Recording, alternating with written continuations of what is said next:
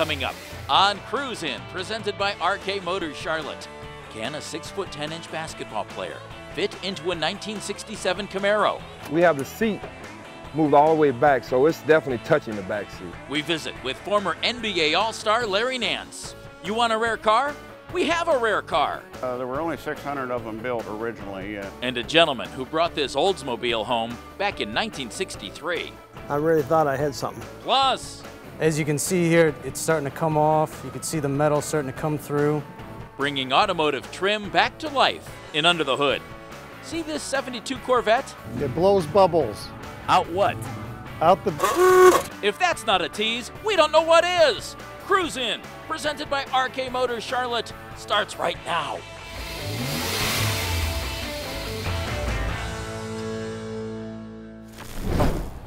Hi, everybody. Welcome to Cruise In, presented by RK Motors Charlotte. I'm Jeff Phelps, and we've come to a pretty hoppin' cruise in, don't you think? We're at Bellacino's Pizza and Grinders in Stow, Ohio.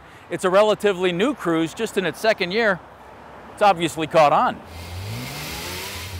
Rick, you're a guy who always had a dream of buying a certain kind of car. right, and when I was in high school, And what kind of car was it? 49 Mercury. And what's sitting next to you? 49 Mercury. Congratulations. it all came together. Still getting it. Took a while though, oh, huh? Oh, yeah, From high school till now? right. When did you pick it up? Well, about a year ago. What was it about the 49 Merc? And obviously it James was James Dean. it was James Dean. Yeah, basically. And, my, and I had two buddies that had a 50 and a 51, which are about the same. They had chop tops and everything, and I couldn't afford one back then. So I you were really can't now either, but you were a rebel with a cause without the cash for a while anyway. right. What was it about the styling of this car? Because Uh, obviously the James Dean image is huge and it always has been with the 49 Mercs, but It's what just about got great lines, I think. The way it, it slopes back and everything. I just fell in love with them. What have you done to this one, Rick, since you bought Well, it? Well, I put the spotlights on, the mirrors. Did right below the molding, we put this two-tone on it, put skirts on it, side pipes, change the hubcaps.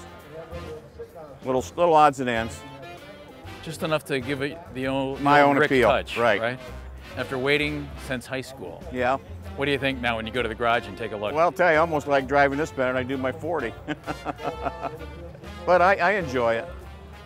After waiting since high school for it, you better enjoy it more than your oh, 40. I have to. I got to. Great looking car, Rick. Thank you. Thank and you very congratulations on uh, making the dream become reality. Yes, thank you. Thank you for the expo. Ralph, you have two of our favorite things going for you tonight. First of all, a rare car, your Oldsmobile Starfire, and you're the original owner of this car. When did you buy this thing? 911 63. September 11th, 1963.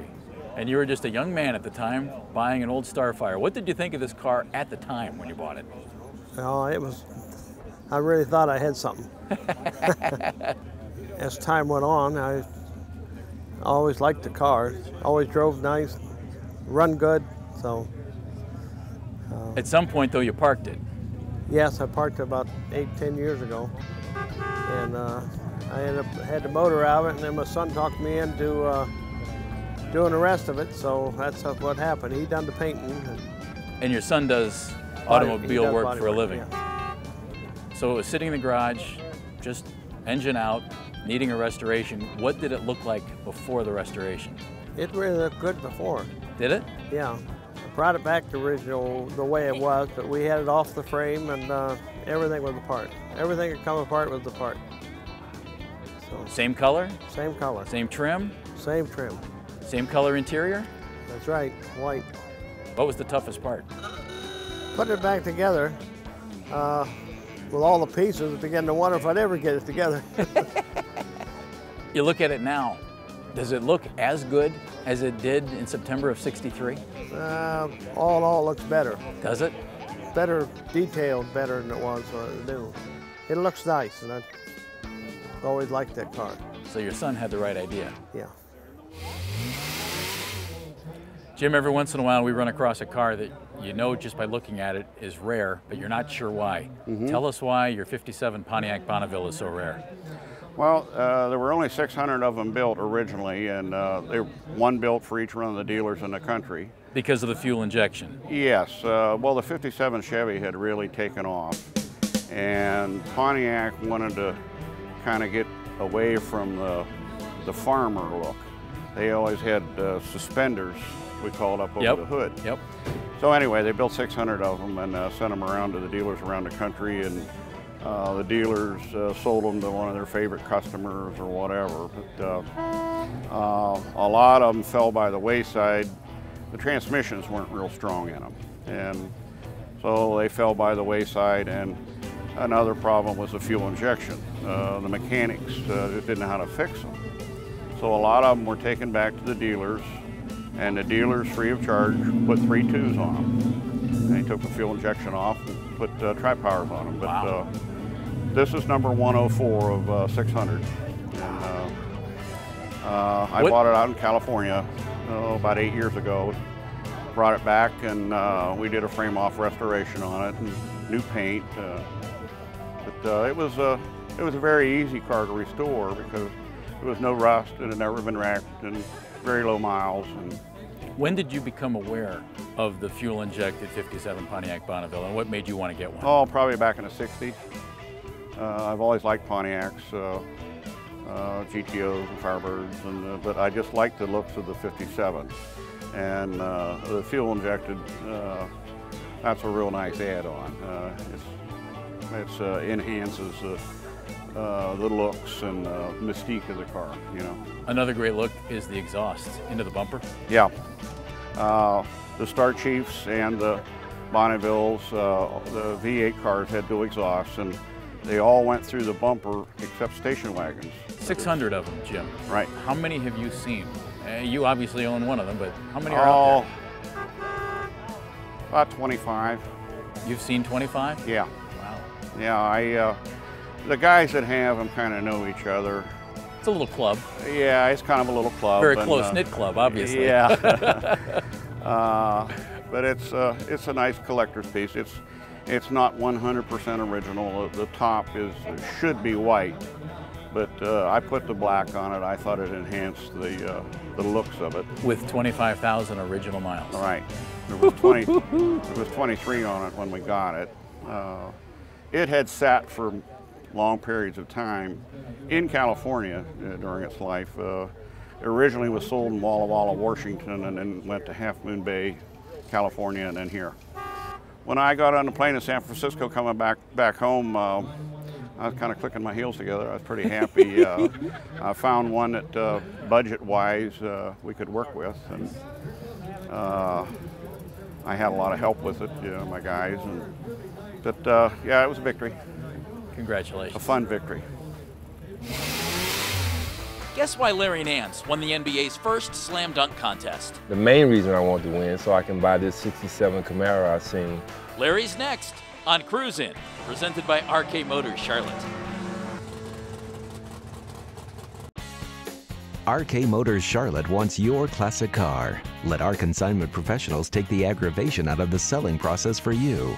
With an established international customer base, the RK Motors Charlotte consignment program has a 90% sell through rate. Our top notch marketing efforts have led to an average sale time of 87 days. We do the work, we do the marketing, we sell your classic for you at maximum value. Visit our website at rkmotorscharlotte.com. Now back to Cruise In, presented by RK Motors Charlotte. Larry Nance was a high flyer, one of the most athletic forwards in NBA history. He played 13 seasons in the NBA, six and a half with the Phoenix Suns and six and a half with the Cleveland Cavaliers. Since his retirement from pro basketball, Larry's life has revolved around his two main loves his family and the Chevrolet Camaro. Larry, as long as I've known you, there has always been a Camaro parked in this driveway. You and Camaros go way back. What's the story? Well, the first one I had uh, when I won the slam dunk contest, the reason I won, the main reason I wanted to win, so I can buy this '67 Camaro I seen, and uh, so I ended up winning that and ended up buying the Camaro, and that's that's just my favorite body style. I'm a Chevy guy, and I love Camaros, and I've had quite a few since that time. So beating Dr. J wasn't the inspiration. The inspiration was get some extra cash to buy a 67 Camaro. Yeah, I mean, you know, Dr. J was definitely uh, the superstar that I, I loved, and, and it was great beating him. But you know, in the back of my mind, I seen that red Camaro that I was going, as soon as I got home, uh, I was going to get. I love the shape of the body. Um, I love the way they sound. I just, man, the first time I seen that car, it was just, just awesome. And you could do so many things to them and they're really easy to buy parts and really easy to fix up. My father was a mechanic and, you know, we always worked on cars and I always held a flashlight for him. That's when I really fell in love with it and, um, you know, I, have been worked on cars way longer than I played basketball. Larry, you're the only guy I know who has a daily driver that has how big of a tire on the back? I think they're about 13, 14 inches wide. It's got a this mini tub and uh, it's got Mickey Thompson tires on there that has a lot of traction and and uh, ladder bars. So this car pretty much set up for the racetrack, but I drive it on the street, so it really performs well. This is a 67. I've had it about two years. I bought it all blue and um, we kind of took the whole thing apart and put it back together and I had a friend paint it for me uh, and just just build it from scratch and now I'm really happy with the way it is. Now this is not the biggest car in, in the world and you're six foot ten and you said maybe six nine and a half now without the cartilage Oh yeah, yeah, I'm a little shorter. Show us how you fit in this thing. Well, right now we have the we have the seat moved all the way back, so it's definitely touching the back seat. And it, you moved it back, oh, obviously. Oh yeah, yeah, we had to pull it up and move it back. And uh, so, actually I have pretty good room. That's not bad. No, it's not bad at all. And it's got a six-speed transmission, a Tremec transmission in it, and um, probably 800, 850 horsepower, so Buzzing around Northeast Ohio. Hmm? Buzzing around Northeast Ohio. Yeah, that's a lot for the street, but you know, I, I love the way it sounds and love love working on these things. What's under the hood, Larry? Well, it's a, it's a 565, and notice that none of this stuff is original looking. It's just a big motor sitting up on there. It's a 565 with a Dominator on it. Like I said, about 800, 850 horsepower. Wow. And uh, it really is all set up for performance. I'm planning on holding on to this one. Um, you know, it took me a long time and a lot of money to fix it like this and I really am happy with it. It's got a beautiful paint job. It's got a motor that runs great in it, and uh, yeah, I'm not planning on doing it, not selling it no time soon. Larry, this one's the nasty machine. And I don't know if a lot of people know it, but when you quit playing NBA basketball, you went into drag racing and, and you were in machines like this, taking them right down the track. Absolutely. This is a pro mod car. This is, not, matter of fact, this is the first real professional race car I bought. And uh, I didn't actually drive it, but this car brought more happiness and, and uh, actually was the fastest car in the world for two years. Was it really? And uh, won three races with it and finished number three in the world, I think. And uh, it's just, this is my baby here. This, I'm so happy to have it back. Yeah, and you just said have it back. You originally bought this when? I bought it in 1990, and, uh, and I had, we had it four or five years, and then we sold it and two other people had it. And I, when they had it, I always would go watch it run. Yep. And um, finally, I had an opportunity. One of the guys wanted to get rid of it, so I just I don't know what I'm gonna do with it quite yet, but I end up buying it back, and um, really happy to have it because none of the Camaros I've had have brought me more happiness than this one. Now, when you raced, you didn't race this car, but you did race other cars. I raced in pro down, stock. Taking them down the strip, yeah. Yeah, oh yeah, I raced in pro stock, which I raced a Dodge. Then I raced uh, Chevy Cobalt with my fastest car, my most successful year. And, um, you know, nothing in the world like being in those cars and working on them and, and watching them perform. And then those, those races you go to and you qualify, mm -hmm. it's all worthwhile. You want to put this back on the track? I definitely want to put this back on the track. Uh, you know, I paid for it to get the car. Now yep. I got to uh, do it up as your favorite NBA team, of course. Absolutely. With the number 22 on the roof. I am so proud of this team and the, the things that Dan Gilbert has done with them, and uh, I think they're really going to do well. So, and I still live in this area, and I think you know I'm going to run race this car yep. in this area, and I think people really appreciate seeing that logo on it. And uh, you know, right now we got to raise enough money to um, get a motor for it. Uh, I don't think Jaynee gonna let me buy a motor Yeah, no I, time I. I don't think that's happening. so, so we're gonna do that, and then we're gonna, you know, race it locally in Norwalk and around tracks around here, and uh, just have fun with it. It's old, but it will perform with the new ones, and, I, and I'm out to prove that that it will run with a new car. Are your emblems looking a little old, dull, lifeless? And the trick is when you do it this way, is not to stop in the middle of a wide flat spot because then you'll see your brush strokes. Under the Hood is next on Cruise In, presented by RK Motors Charlotte. World class collector vehicles. That's what RK Motors Charlotte is all about. The finest in classic, muscle, and high performance automobiles. The design and excellence of the 1930s and 40s. The chrome of the 1950s. The muscle of the 1960s and 70s, and much more. RK Motors is the one stop shop to sell your car, add a new prize to your collection, or restore an old friend to past glory. Learn more about RK Motors Charlotte at rkmotorscharlotte.com. Under the Hood is presented by RK Motors Charlotte, specializing in the sale, build, and restoration of world-class collector vehicles. A critical part of any restoration is the trim, the stuff that you might take a little bit for granted, but it certainly makes a difference. Adam Gall from RK Motors Restoration going to go over a couple of things that you can do not only to make it look good, but save a little money in the process too, Adam. Yeah, yeah. If you're, uh, you know, looking for parts for your car, say like a swap meet, you might come across a bumper like this. Um, it's not it's not very good looking, Adam. No, it's not very pretty, but with a little bit of work, we have steel wool here. With a little bit of work, a little bit of elbow grease, a lot of this stuff will come off. And, you know, you just keep working it back and forth. And like around here with the rust, Just a little bit of rust. a lot of that will come right off. Nice. And then you take any kind of all metal polish and just work that in. Look at that, it looks like new chrome again. Your emblems look a little uh, little shaky. Yeah, they're a little bit old, they've been worn. Uh, as you can see here, the the Fury emblem, the black is worn out in the back, the chrome's not very brilliant.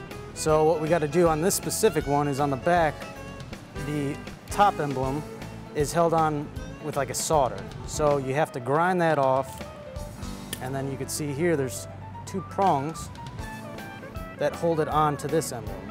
So after we take that off, so now we need to take the black off. Just put the new black on. So we take a little bit of lacquer, Just regular lacquer. just regular lacquer. Since everything was painted pre-1970 on this car, all the paint that they used was a lacquer based. So now with a little bit of regular lacquer, all this paint will come right off. I got a cup over here full of lacquer and you just let it soak for a few minutes and all of it comes right off. So while that's soaking. We have another emblem while that one's soaking. Nice. Oh, that's good So planning right got- there. We got this one who's already been cleaned up. You can see all the paints out. This is, a, you know, half of an SS emblem. And you slowly, oops, Don't shake. Don't shake. Get in all the little nooks and crannies. You're also getting it on the top, but that's not a concern? No, not right now. Okay. How'd you do in art class in school? Not too good. Great. That's comforting. And the trick is when you do it this way, is not to stop in the middle of a wide flat spot because then you'll see your brush strokes. You let that set up for a little bit, let Okay. it get dry. Not all the way dry, but set up dry.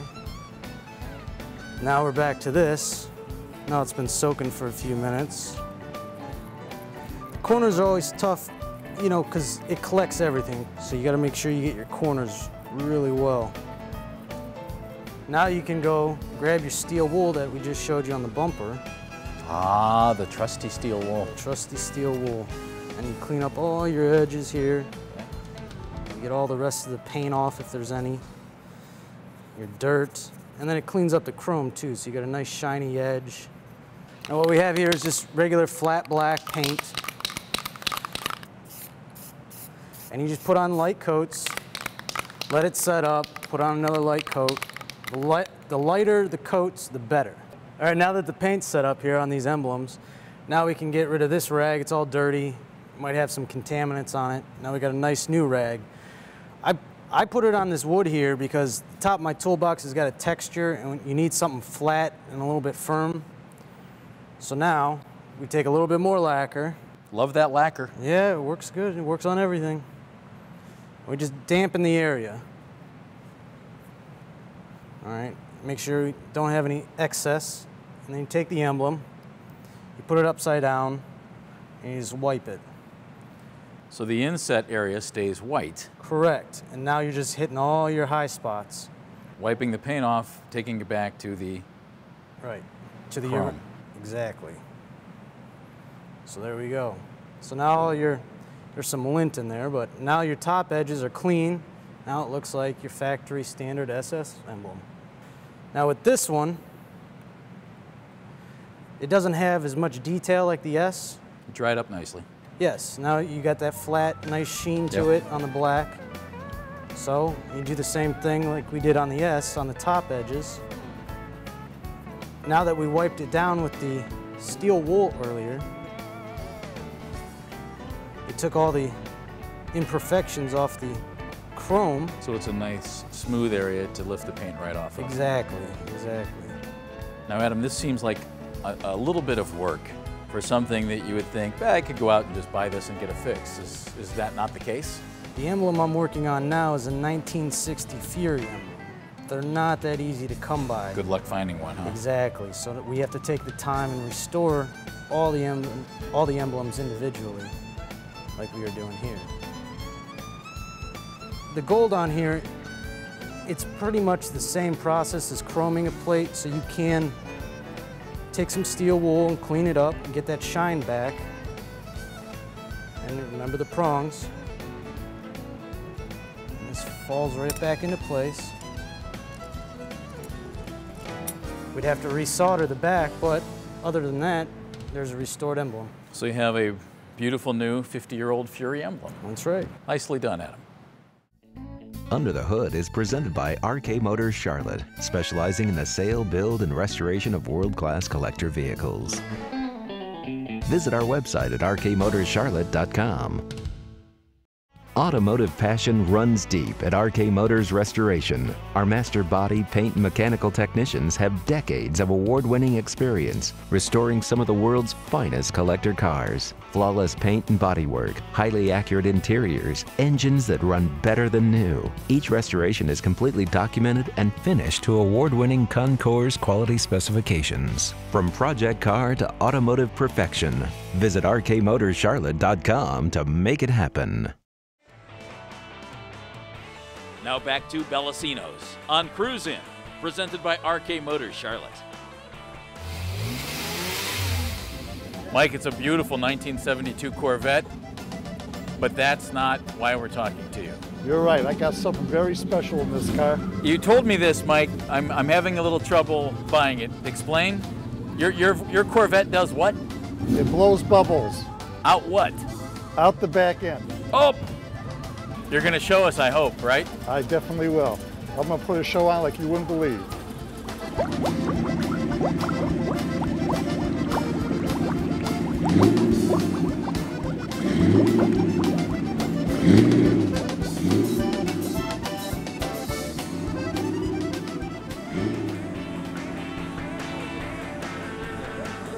Larry, we appreciate you letting us come out. Take a look at you, take a look at the Camaros. No problem, man. I really appreciate you guys coming out. I left my old Ford at home because the last time I brought it over, you almost beat me up. Well, that is true. Most of the time, people bring uh, bring Fords over here. They usually leave a lot of oil in my yard, so I just didn't want that this time. That'll do it for this edition of Cruise In, presented by RK Motors Charlotte. I'm Jeff Phelps. Larry, a pleasure. Hey, thank you very much. We'll see you next time right here on Cruise In, presented by RK Motors Charlotte.